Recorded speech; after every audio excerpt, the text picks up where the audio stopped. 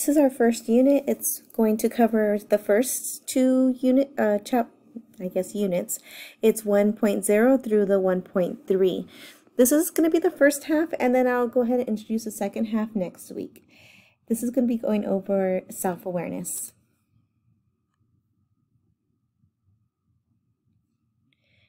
First, we'll discuss the culture of the campus. Of course, we're going to discuss the culture of our campus, which is San Bernardino Valley. Here's a beautiful picture of San Bernardino Valley at night to your left. It's actually a gorgeous campus at night. I really love how they um, done so many updates, floor lighting. It's really lit up. I feel super safe at that campus at night. Really pretty. Just want to go over some little uh, key details about what you need to know about the college itself coming in from um, a, a high school or never been on a college campus before and what we expect you as a student to uphold. Of course, values and honesty and academic integrity. That really covers a lot of what you're going to be going over throughout the next two years you're here uh, if you come full time. Basically, want you to be academically honest. So using your own work, you know, um, we want you to be successful in that, but we also want you to uphold your own values to that. Arrive on time and prepare. be prepared for classes. Um, some schools, they, I know universities, they don't even know if you're there or not. They won't, they're so big, these these schools, they have like 200 students in the class. It will be difficult to go through every single person who's there. They just basically give you the information, that's it. Unfortunately, because it's community college, it's a little bit smaller, you might have a, a, instructor who takes note on who's there every day. So just be mindful of that. So you want definitely want to be prepared to come on time. What does that mean? That means first day of school, parking is difficult. You're going to be looking for parking probably, I remember looking for about a half an hour or so and then, you know, finally just deciding I'm going to park really far away and then I'll walk. Um, that's just one thing you just want to be mindful of is your time and being on time. So if you're at that 8 o'clock Monday morning class, make sure you're you find a, a parking spot on time. Or if you're taking the bus, make sure that the bus, you take the route and get there on time. So be mindful of that. Your meetings, activity, um, academic activities, there's so many extra things you can get involved with. Uh, special events, we have so many on campus. Uh, just uh, be mindful of, of when those things are. It's so many uh, good resources for you as a community college student. Give attention to quality time and excellence in completing your assignments. Of course, they're going to say that since you were younger, right? Put your effort into it, but actually in high, in college, you really do want to do this because what you're doing now or understanding now, a lot of it kind of will go towards your major. For example, if I'm majoring in psychology, my first intro to psychology class, I definitely learned about Freud and learned about all the information that later on I'm like, oh, Erik Erikson, he's definitely something I remember. He's basically somebody who we talked about years later in my graduate program. So I wanted to be noteful that, you know what, I'm glad I paid attention during that assignment during that time because I, I'm really well aware of that information now. Also, as an instructor myself, I also see the difference in students completing and giving their efforts. I can have student A give me a whole detailed paragraph and I'm like, yes, that's everything I needed. Boom, hit all the all the, the areas I needed. And then here's student B. This is what I understood. This is how I did it. And it was just a very three sentences maybe and thinking that they covered everything that I asked for, which in, in reality they didn't. They weren't really detailed. They didn't give much effort, and I can see that. So just be mindful and be give you to me, I would say give your all. Doesn't mean you have to get A's in classes. It just means that you want to give an A for effort. You really want to do your best in trying because an instructor does take note of it. A lot of sufficient time to fulfill responsibilities responsibilities outside of class.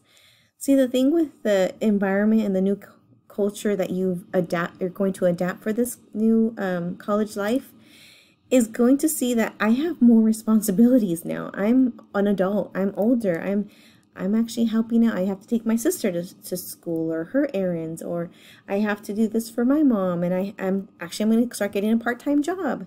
So these are things that are outside of responsibilities aside from now going to college. So this is things that you want to give enough time that you can do all this stuff and include it in your life and not be overwhelmed in doing it. You want to observe etiquette in all communications, giving respect to instructors, fellow students, staff, and larger, larger college community. This just basically means being on the campus, we're all being respectful to one another, uh, or abiding by etiquette. There's a certain way that you would email me, um, you would send me questions. It's not like, hey, what's up? You know, I'm not your friend, I am your instructor. So there is a professionalism going on within this environment. How you speak to your instructors, how you um, uh, communicate with your peers, it's all um, it's all part of etiquette. Take full advantage of, just like I said stated earlier, is the college resources available to you. Uh, EOPS, TRIO, Veterans, DPS. These are some things I'm going to go over. Counseling, um, so EOPS, I was an EOPS student myself. I really love EOPS program. It's Extended Opportunity Programs and Services. I was a first generation college student. I had no idea what I was doing with my life in college. I just basically knew that I wanted to go to school. Um, and this is after I, I came back and into school the second time. So when I came back to school and I was part of the EOPS program, I actually had a counselor I had to meet with every semester. And the counselor went over my plan, how my classes are going. So to have that little nudge of somebody behind you, it definitely helps out a lot. It also gave me priority registration. So that means I got every class I needed every time I registered. So it wasn't, uh, oh, fighting with people to get the classes. I know I got the classes because I was part of that EOPS program. They help with my um, textbook supplies. I got backpacks. I got calculators. I got a calculator for my statistics class. I got um, pens, pencils, erasers. So things like that that they actually helped me out to supply for me because I was a low income first generation college student. And so it gave me the equity I needed to be successful in, in college. Also, I was also part of TRIO. So the TRIO program is very similar. It bridges you, basically, it takes you on to go on to a, um, higher education. So UC, Cal State. So the TRIO program also works very similar. We have veterans. For those of you who are veterans, they work really well. They know your cha charters, your chapters. They're really knowledgeable of, um, of all of that for you. One I really like to um, introduce and talk about is DSPS, uh, Disability Programs and Services. This is the resource that is there for you, right? I had an IEP in high school, for example. I needed extra time on my test. I needed someone to assist me with note taking and whatnot. The way I developed this course in particular is I give extra time and time and a half so that I don't have to pick out and choose for my students who are, are who are DPS students so that I give it across the board. So if I give you a, a quiz and it's only like 10 questions and it should be like maybe 20 minutes or 25 minutes, I will probably give you longer, a time and a half for that to complete that because I do need to include that my students who do need that extra time and a half, I'm going to give that to them. And I also give it to my students who don't need it but can use that time if they'd like to. So I like to tell you that I do give you that during my, my online classes for you. The next thing I'll go over is uh, respect diversity in people, ideas, and opinions. This is kind of difficult um, because sometimes we've come from a certain culture and who we live with in our neighborhood is maybe very similar to our culture and we sometimes we don't have that diversity but i know as a san bernardino valley college uh, counselor i can tell you we have a very diverse campus which is awesome. We have students from all walks of the world, and this is a great, a, something great that we do have, although we still have to be mindful that other people, other religions, other political um, beliefs, other, you still have to respect their ideas. Maybe we don't agree, we could agree to disagree, but we don't want to force upon are my opinions and ideas and say this is the right way and yours is the wrong way. We just have to be really respectful when it comes down to that stuff, especially right now, especially oh, um, when things get a little bit closer to election time or um, when things occur in in the the media. We just want to be really mindful and respectful for our fellow our fellow peers. Achieving educational goals and in an organized, committed, and proactive manner. This is what we're here for. We came to college because, I mean, A, either I'm confused, I'm not sure what I want to do, uh, and maybe I'll, I'll figure it out while I'm in college. Definitely, you can definitely do that. Or I came in knowing I for sure, let's say I want to be a needle nail, needle, needle nail nurse, can't say it, and this is my goal, and that's how I'm going to get there. Great, awesome. We can also get you there. My goal is to get you to your goals as a counselor. And so counseling department is that's what we're there for. We have a whole map, a whole pathway laid out for you. Just tell us what you have in mind what you want to do. It's our job to do the research for you. It's our job to see what classes you need. It's our job to basically assist you along the way so that you can get to your goal and you get there in a timely manner because we don't want you here seven years later and still confused. No, definitely not. So that's why we have you take, for example, Student 102, Student Development 102, and Student Development 103. This helps you to be a, a strong fundamental student and also helps with career paths as well. So we really want to make sure that this is all done in a proactive manner. Of course, take full responsibility of your own personal behavior. That's that's without going uh, going without said. And then comply if you can't see it but it just basically says comply with all college policies. And that can be found in the student handbook also the aka uh, college um, catalog. Let's talk about the difference between high school and college. I do outreaches to high school and sometimes I tell my students the secret so don't tell nobody but basically when I was in high school, I don't remember doing the work in high school. And if you're like, oh yeah, I remember doing my work, I don't understand what you're saying. No, no, no, no.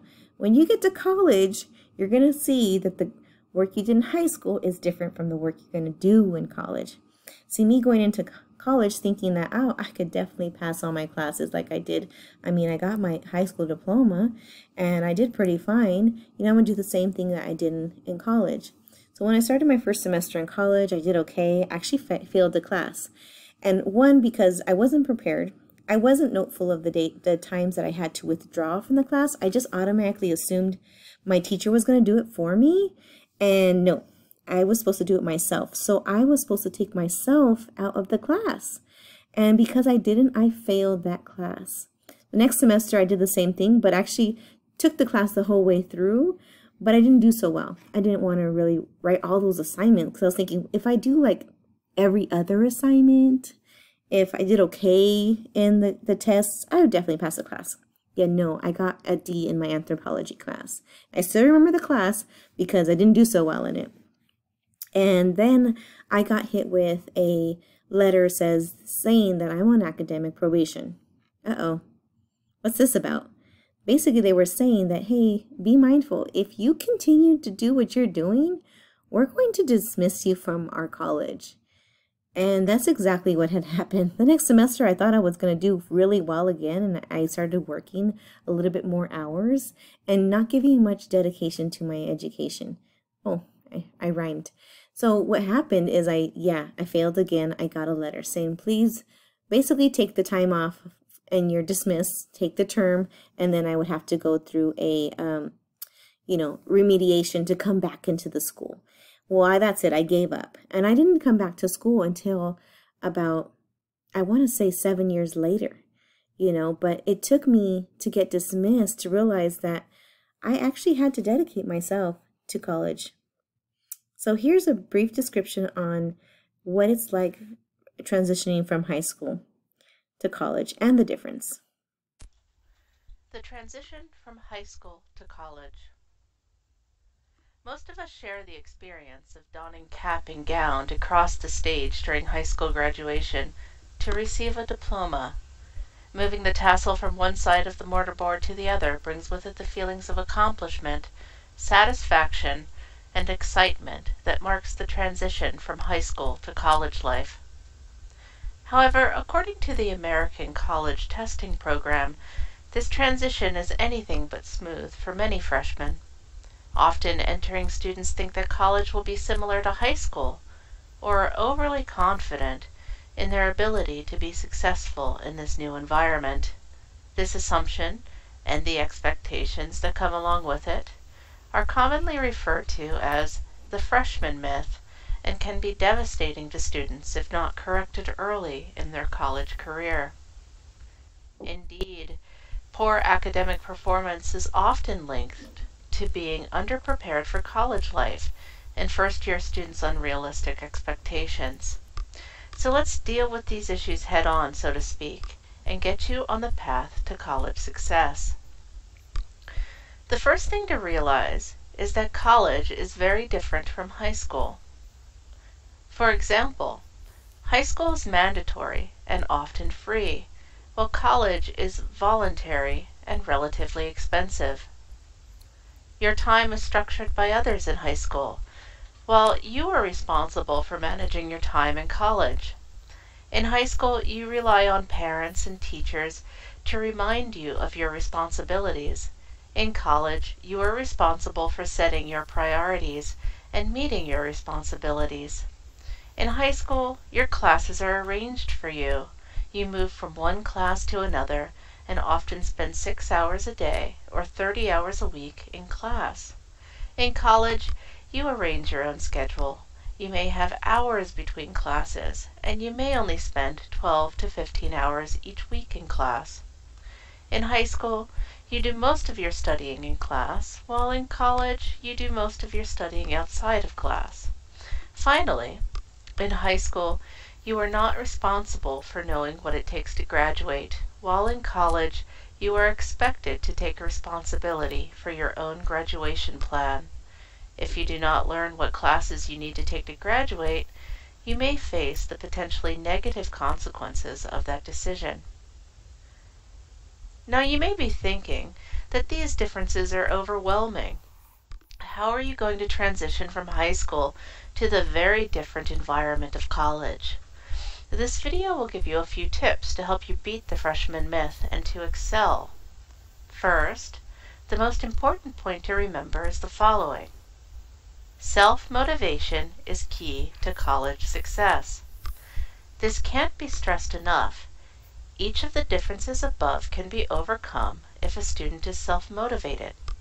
For example, remember when you were in high school Many of you spent years becoming an expert at navigating that environment. You probably remembered to be at school on time, followed the class schedule given to you, listened to your teachers' and parents' instructions, and paid attention in class. Most of the time, at least.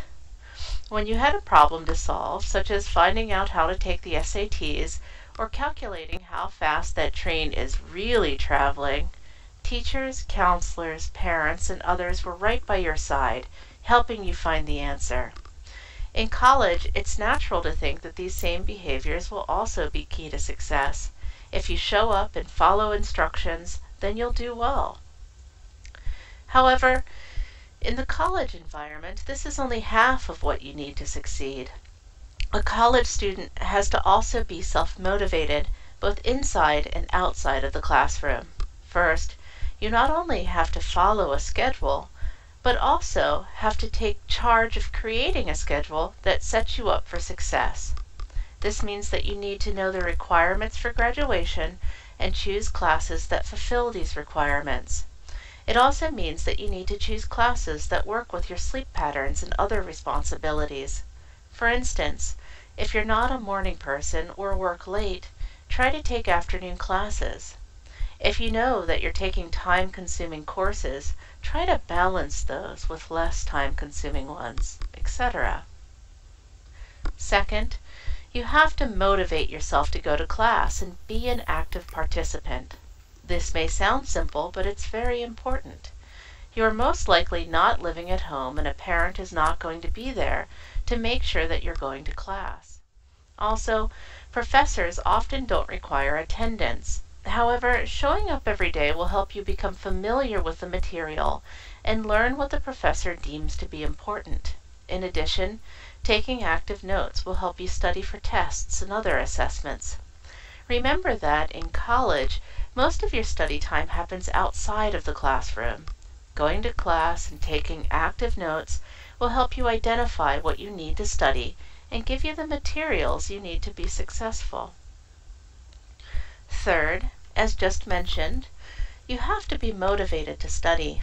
Unlike in high school, many college professors do not check homework, such as reading or doing practice problems, but they do assume that you're doing the work. Make sure to do all your reading assignments before class so that you can get the most out of the experience. Also, do all the practice assignments and take full advantage of any extra materials that you're given. Unlike high school, participation points are just a small percentage of your grade. Often the bulk of your grade could be determined by one or two tests or writing assignments. Failing one, then, could mean failing the course. So take studying seriously and plan on spending a lot of time outside the classroom preparing for class. Finally, be motivated to get the help you need. In college, you will be faced with many new types of problems.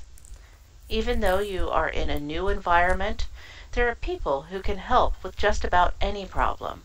However, it's important to take the initiative and find the resources or professional that can help you.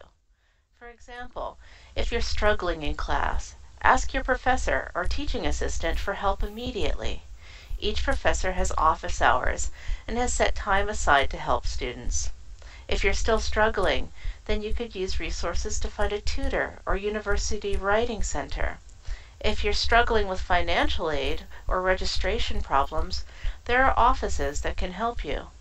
You simply need to be motivated to find the help you need. Being self-motivated, both inside and outside the classroom, then, will help you get on the path to college success. They'll help you diffuse the freshman myth so that you can once again have the experience of donning cap and gown to cross the stage to receive a diploma. Only this time, it will be your college degree, and moving the tassel from one side of the mortarboard to the other will mark the transition from college to professional life.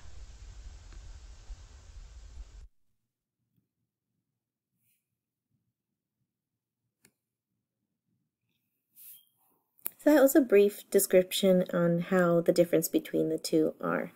I hope you took note because it all of it's very true. Take an online course now, and this is something I talk about this week. It's I talk about the myths, and I really want you to go over that because some of us are skeptic and a lot of us are taking online now.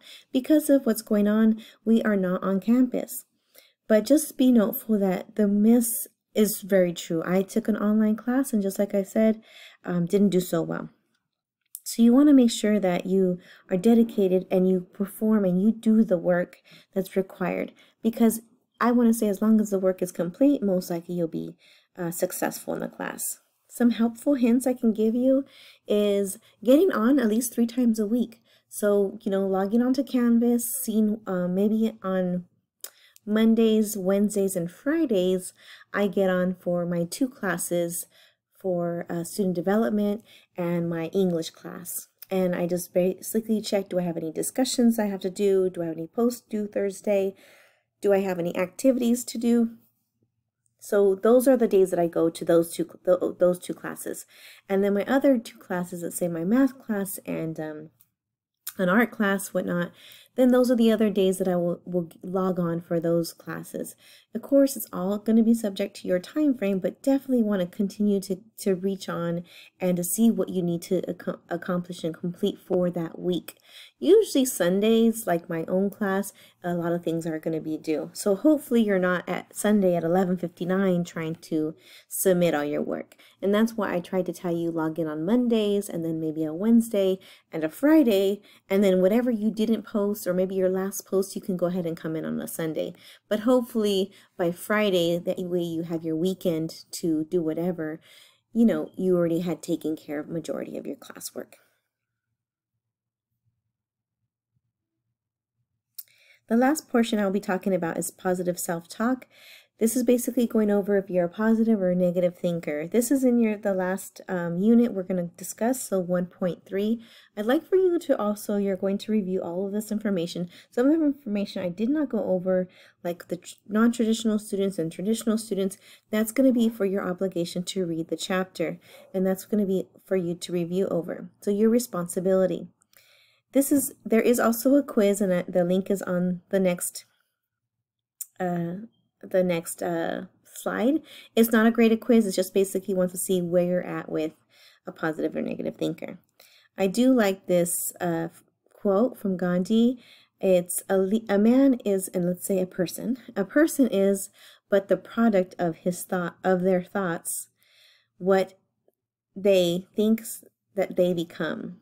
So I, I don't like to say he because it's so dominant, right? And right now we're just, it's all about empowering everyone right? We don't want to just empower the he, the man, because there is woman who is in there and becoming what your thoughts are. So be mindful of your thought process and your thoughts.